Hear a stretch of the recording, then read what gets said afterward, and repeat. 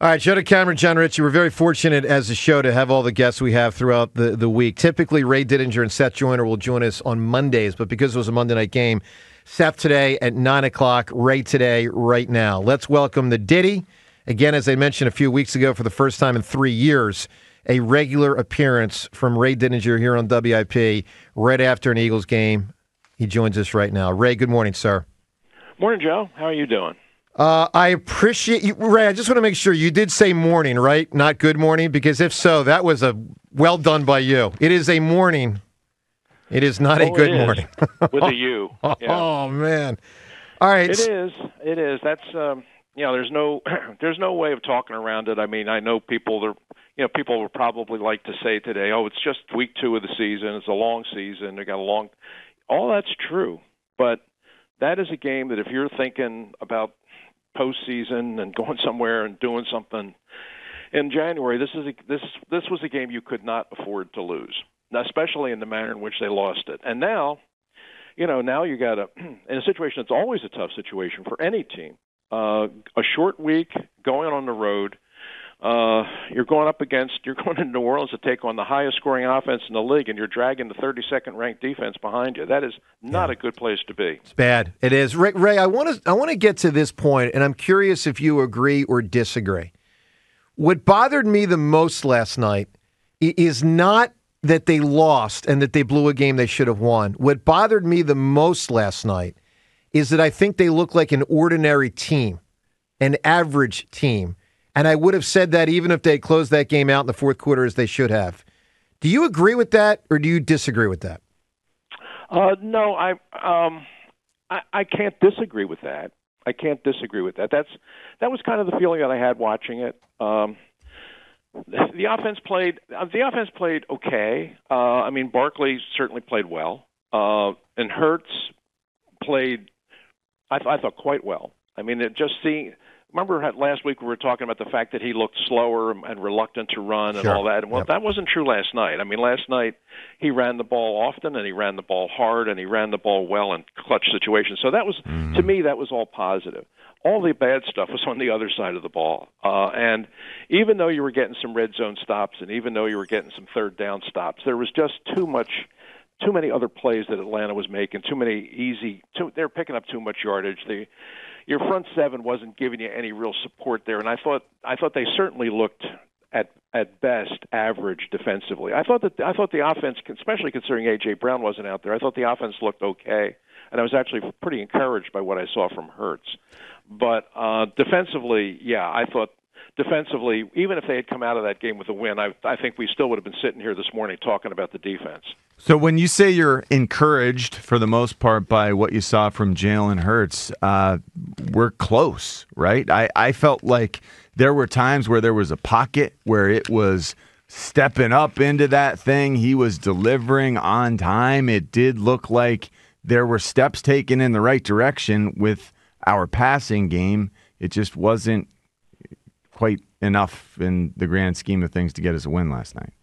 Yeah, that's um, that's sort of the way I saw it too. But I, I really thought that um, I, I really thought we've we said at the beginning of the year that the the ultimate disposition of this season, where this season is going to go, is, is so much about the quarterback play. I mean, it, you can talk about this and you can talk about that and and look at the team from a million different angles, but it it all comes back it all comes back to how he plays.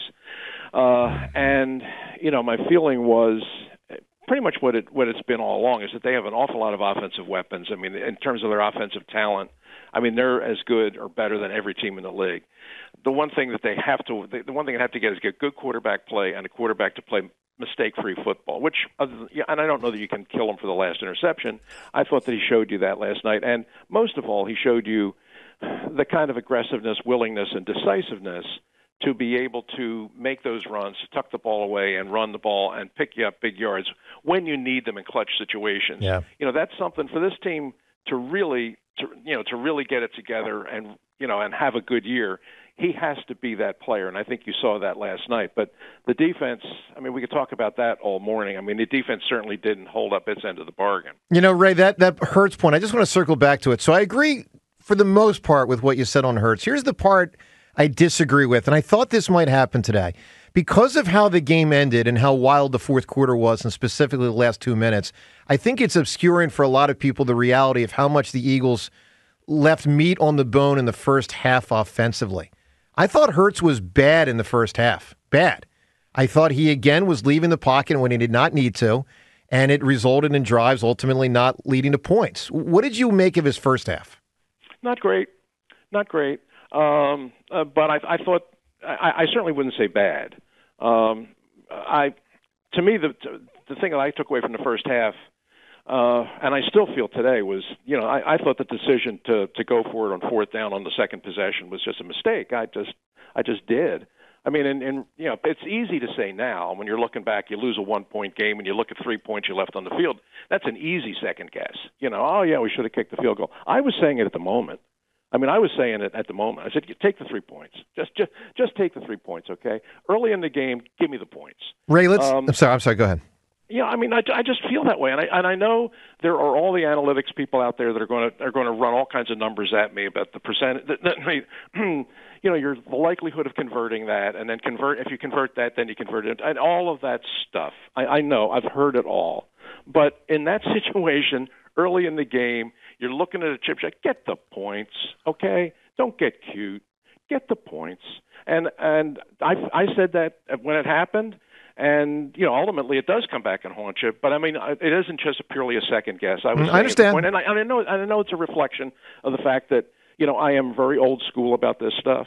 But when you have it's your second possession, you've driven it all the way down the field you're right there. Take the three, okay? Take the three and be happy with it. I just thought that was I just thought that was too cute by half, and ultimately it does winds up coming back and biting you. Ray, let's get to the two because I thought that was the first of three major decisions made in the game on those types of things. Let's get to the the two near the end of the game. I'm just curious your opinion to throw the ball to Saquon Barkley. I had no problem with it. I would expect him to catch it. Ordinarily, he would. A lot of people are up in arms that they took the risk of a pass that could lead to an incompletion and a stop in the clock. Are you okay with that decision, independent of knowing what the outcome will be? Um, no, no. I, I would have. Yeah, I mean, you can say you can say, oh, yes, the safest pass play in the book, and it is, but it's still a pass play. I mean, in that situation, the other team's got no timeouts. Just run the ball. Just run the ball. Uh, and I mean, yeah, if should he have caught it? Absolutely. If you throw him that ball a hundred times, he catches it 99. I mean, again, you're talking you're talking numbers, you're talking percentages, you're talking. You know, of course he's going to catch. You, you expect him to catch it. Of course you expect him to catch it, but doesn't mean he's going to catch it. Uh, in that situation, you had the game completely in your hands. I mean, Atlanta was utterly helpless at that spot. You run the ball. Who knows? Maybe you run the ball and get the first down. You get the first down, the game's over. Yeah, yeah. But if, but if but if you throw it, there's always the chance that what could happen happens. And and so yeah, when I saw the, when I saw the snap and I saw him roll out, I you know, yeah, you see it unfolding, and you're saying, well, this, yeah, he should certainly catch this, but he didn't. And and, and Ray, because he and because he didn't, you're sitting here one on one. Sure, no, that that's right. If he catches the ball, the game's over. Ray, the next decision was the next play. Do you think Sirianni should have kicked the field goal as he did to go up six, or did you feel a lack of confidence in the defense? Where you say, let's go for fourth and three with 142 to go, try it again and try to end this game right here by getting a first down and being done? No, no. I mean, I'm again kind of you, you, um, you're, I mean, you're talking to the guy that just five minutes ago was, was telling you I would have kicked the field goal in the mm-hmm. first period. so, I mean, I, I would have kicked it right there. I mean, I would have just played it by the book. Um, but the but you know, it was it was a whole succession of things, and and and I mean, you've rightly identified all of them, and we could discuss them forever. Um, and it, it doesn't it doesn't change the. I mean this this was about as bad a loss as you can imagine. It really was. I mean, there's no overstating it. I mean, it's your home opener, primetime TV. You got the, the stadium is completely rocking. You got a, an opponent coming in here off a really bad performance the week before, uh, with a quarterback who, frankly, when he went back and looked at the tape, if you looked, if you if you saw Kirk Cousins in the game against Pittsburgh, I mean, he looked, he literally looked like a guy playing on one leg, and I, even though I knew the Eagles had issues, um, I I really didn't see any way they could lose this game. And certainly at the the way it's ending, with them just driving down the field and bleeding the clock and Atlanta without a timeouts, it looks like they're going to win the game. Don't look like world beaters, but it certainly looks like you're going to two and zero. Oh. and to let that one get away the way you let it get away is really rough. And you know, and okay, here's where you are, but I think the one thing you can look at is, you know, now I think you're all, I think this is an early season gut check for this team. Right. It really is. I mean, you hate to I mean, you hate to get there this way, but this is going to be a real this is going to be a real good tell this week to see how this team A comes back from an absolutely backbreaking loss and B prepares to go on the road in a short week to play a red hot team with a very dangerous offense and with a defense right now that looks like it's got a lot of holes. The uh, the New Orleans offense is so heavily run based. It is so grounded, and I want to say Derek Carr threw. I don't know, like 16 passes or completed. It was just such a small number. We, on the other hand, Ray, are pounding the rock, and Saquon, two weeks in a row now, has 26 touches per game. Like 26 touches week one, 26 touches week two. How sustainable is that? How do you feel about that number? Well, you know, it's kind of what. Well, I think last night it gets a little bit skewed because um, because you don't have AJ Brown. You know, I think if you have AJ Brown in a lineup, maybe the workload isn't quite as isn't quite as great. But you know, honestly, this is kind of what I thought it was going to be. I mean, when they made the commitment that they made um, to go out and get this guy and pay the price that they paid to get this guy, um, then you've made a very big commitment to him. And you, know, you look back at Kellen Moore. I mean, Kellen Moore, he was the play caller in Dallas in the, in Zeke Elliott's big years. And to me, Zeke mm-hmm. Elliott and Saquon Barkley are very much the same kind of player.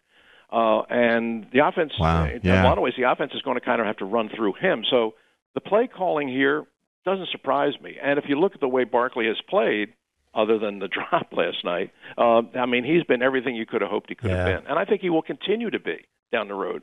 But yeah, I mean, it's it's it's a different offense, but I think that in many ways it looks like it's going to be a, a really good offense. But last night, oh, geez, I mean, I when I looked at when I when I went back and looked at the Atlanta Pittsburgh game, and I looked at the, I looked at the film and I looked at the numbers. Um, I mean, we kept hearing last night about what a great offensive line the Atlanta Falcons have. I mean, they they've made they've made that point over and over again, and I'm saying, really? I mean, did, did anybody see what did anybody see yeah. what they did against the Steelers? I mean, their pass their pass block win rate in that game ranked 27th out of 32 teams last week. Now, look, I know mm. T.J. Watt; he's a handful, and Pittsburgh can get after you pretty good but there was no evidence of that. And they only and they and they only blitzed like 15% of the time. It isn't like they blitzed a ton. I mean, they were winning with with they were winning with they're winning the one-on-ones with their front four. That's what the Steelers did, and that's how they won the game. The Eagles, their their problem was that they that they couldn't win those one-on-ones with their front four, and that's really where the problem lies. I mean. I, yep. Yeah, I mean, we we talked after the after the Green Bay game about the lack of a pass rush from the edge and I was trying to, you know, I was trying to, I don't want to say rationalize, but I was trying to say, well, listen, you know, it was a bad field, and maybe that had something to do with it. You know, I, I have to think that the pass rush is going to be better than that, and I think we can expect it to be better than that next Monday night. Well, okay, you're back here, you're playing on your home field, which you know is good, and the pass rush still was invisible. So I mean that's yeah. that's a real big problem. You got two real big problems with your defense. Is you got to find an edge rush. It absolutely has to happen and especially this week, to John's point, going into New Orleans against a team that's running the ball maybe better than anybody in the NFL right now. You got to shore yeah. up the interior of your line. You got to shore up your run defense. No, well said. Ray Didinger with us here. Joe DeCamara, John Ritchie. More with Ray in one minute. We're going to go through some of the specific defensive players. More with Ray in one minute's time. Hey, let me tell you about MHS Lift. You know, we're all hoping for a winner in town our football team, our, our baseball team, we'll see. October's coming up soon. Well, I know a winner for sure, and that's MHS Lift. The great team that's leading the way in the forklift industry in the Delaware Valley, Andy and Brett Levin, their squad at MHS Lift, an award winning nationally recognized material handling equipment company that since 1970 has been offering everything that your warehouse needs from forklifts and equipment rentals to racking solutions and warehouse optimization. MHS Lift does it all. And MHS Lift always puts the customer first with over 100 service technicians on call. MHS MHS lift uh, MHS lift maintenance programs they ensure your equipment runs smooth smoothly, minimizing downtime, maximizing efficiency, and they've got a simple mission to provide the best equipment, service, and integrated solutions to keep your operations moving forward. Are you ready to elevate your business? Well, call MHS Lift and call them today at 888 MHS Lift. You can also go to their website, MHSLift.com. That's MHSLift.com. Well, Ray, let's get to some specific defenders. And we can only imagine, John, how Seth Joyner is going to answer these questions in 15 minutes. But, Ray, oh boy, here we go. All right. Bryce Huff. Is he just not good, Ray? We're well. I mean, two games. You don't want to you, you don't want to write off that kind of investment after two games. But um, I would have. I was. I was going to say I don't like what I've seen, but the fact is I haven't seen it. I haven't Right. seen anything. Uh, I mean, that's the scary part.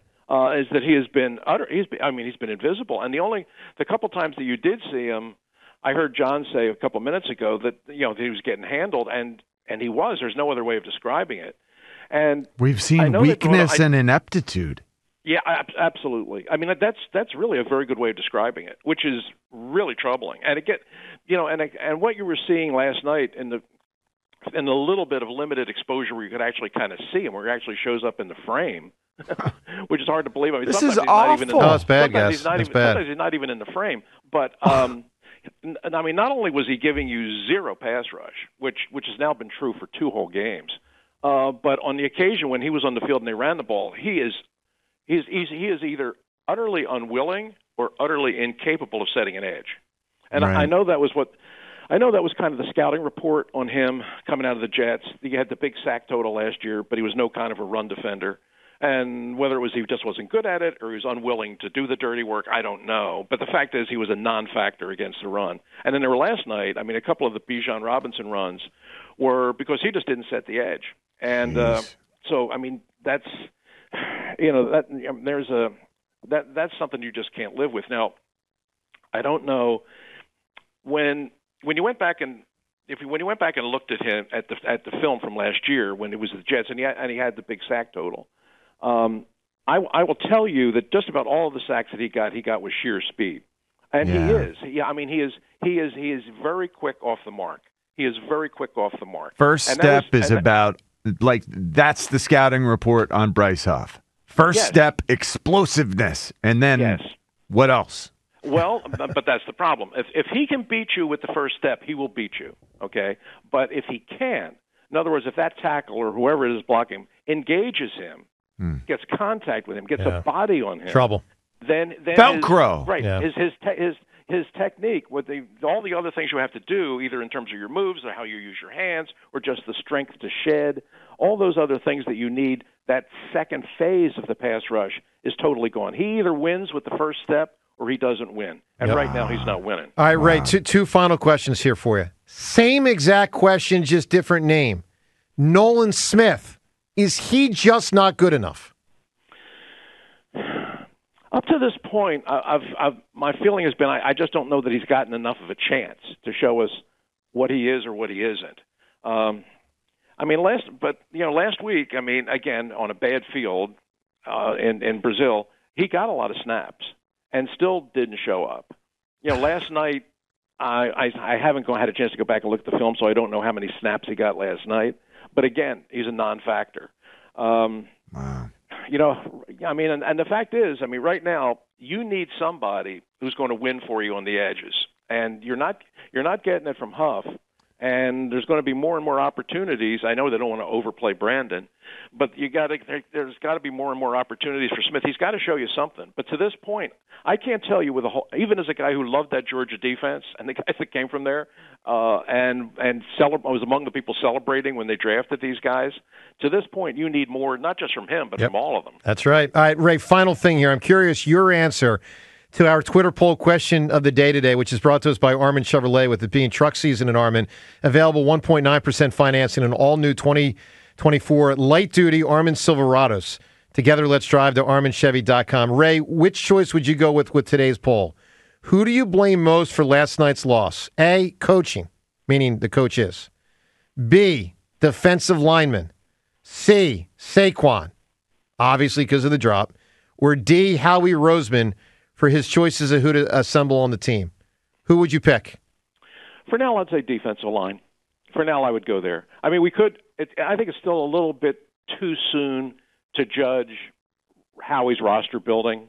You know, I mean, it's, I mean, this we could have a whole different conversation next Monday. I mean, they go down to New Orleans. Who goes? Maybe you know, maybe you know, you know, maybe Bryce Huff goes down there and gets three and a half sacks. I, Sure. I don't expect that. I don't, but it could happen. But to but to to put it on the roster construction week two, that's a little bit premature. Last night, I mean, last night you clearly you clearly can lay this on the defensive line because they didn't do the job against the run, and they certainly didn't get pass pressure. And the other thing was just on the side, completely put aside, is how sloppy the res- uh, the team was in many respects. I mean, nine penalties. Totally. You know, I mean, I mean, we're going to get all caught up in all the other things, which we should. I mean, it was that bad of a loss, but don't forget just how sloppy they were. I mean, those penalties hurt, and uh, and so those are all. I mean, this team has a lot of work to do, and not a whole lot of time to do it. That's right. Ray, we'll talk to you next Monday. Let's hope it's a two and one squad. Let's Oh, let's, let's hope, hope. let's hope the Saints are two and one. All right, two Yeah. and one Eagles, two and one Saints next Monday. My fear is that's not going to be the case. We'll find out. Ray, stay well, well, buddy. We'll talk to you next week. Thank you, Ray. all right, take care. All right, there Thanks, he is, Ray. the Diddy.